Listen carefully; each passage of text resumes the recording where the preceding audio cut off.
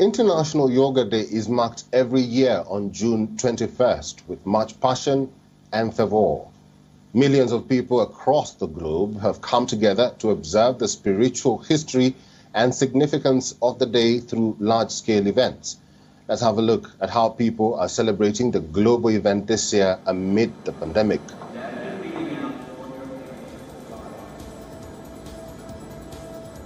The seventh International Yoga Day was celebrated at the iconic Times Square in New York on Sunday.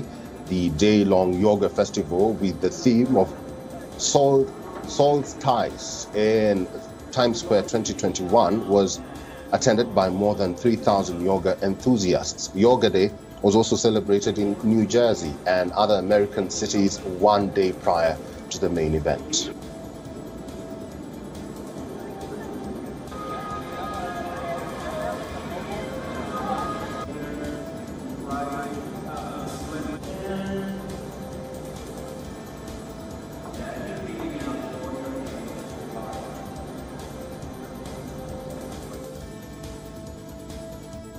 Meanwhile, in China, over 300 yoga enthusiasts took part in a public event on Sunday at the Indian Embassy in Beijing.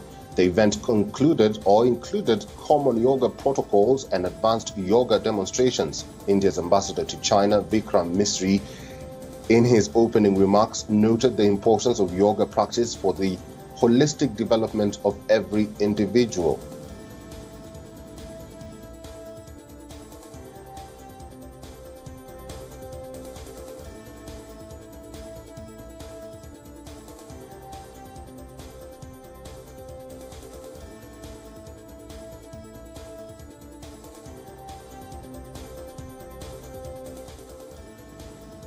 New Zealand marked the International Yoga Day with nearly 20 events across the country. About 200 people, including diplomats, members of parliament, and members of the local Indian community, community rolled out their mats at Bharat Bhavan Cultural Centre in Wellington's Albany on Sunday to celebrate the occasion.